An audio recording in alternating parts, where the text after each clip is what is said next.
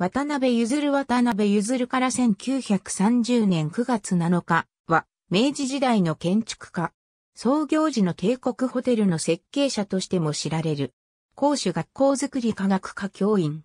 四谷に生まれる。父は、幕臣の渡辺増である。1880年、神戸大学校づくり科学科を卒業し、卒業後は、工部省義手、続いて、内務省永全科義手となった。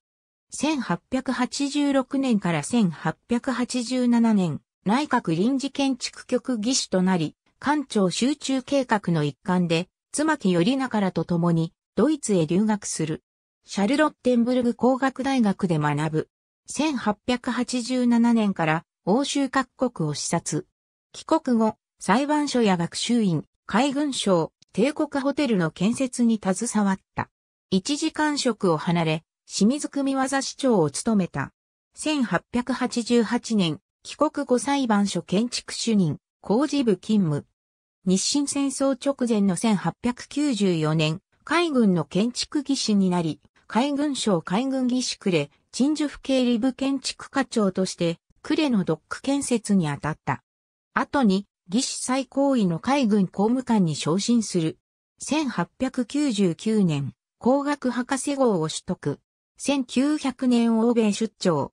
1901年、舞鶴鎮守府経理部建築課長任。1904年には、辰野金吾に代わり1年間建築学会会長に就任。1905年横須賀海軍経理部建築課長、兼任。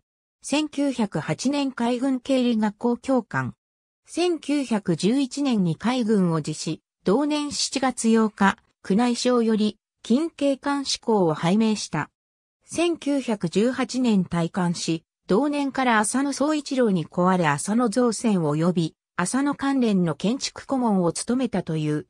帝国ホテル旧竹田宮邸洋館、浅野総一郎邸、試運閣。ありがとうございます。